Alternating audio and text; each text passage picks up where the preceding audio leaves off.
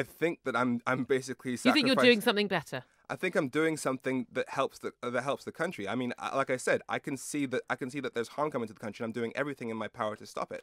So and, I, I, and I you, don't. and do you not think there might be, even if you genuinely believe that Brexit is bad for the country, Mm. politically, economically, in any other way, and, and I believe that you are absolutely genuine in this, and you're a very genuine, you're a very clever young man, and do you not think there is more damage that could be done to the country, whether economically or, or politically, by undermining the results of a national referendum, uh, the biggest democratic vote for anything in the country, in the history of this country? Well, here's the thing. Um, as, as I've mentioned before, in five years' time, we have a population that, that doesn't want Brexit. So it, I think if we You're look, at- willing people to die, aren't you? I'm not willing anyone to die. I mean, I, I, I, I don't. I, as much as I have a lot of pride in myself, I don't consider myself God. I'm not. I don't have any particular power over life and death. I But when the old this. leavers die off, you're saying that you're going to have the majority, but you're going to be stuck with Brexit anyway.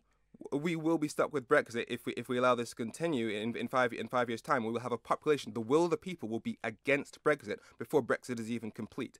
And I think, as for damage to faith in democracy, knowing knowing that, essentially those people will bel will, will have the opinion that they will that people were lied into a thing that's going to shape their entire futures. That will have so much more damaging effect on, on, on our faith in democracy if we know that it's because of UK politicians that our future has been taken from us and sent down the wrong path Your against future- our you will. genuinely feel your future's been taken from you to live in a democratically free, sovereign nation with accountable politicians, and you think that, that your your future's been taken from you because you know that most of the world lives like that and functions really well. democratically free, we already are that. Um, um, so- sovereign country, we already are that. Hence the ability to pull out of the EU.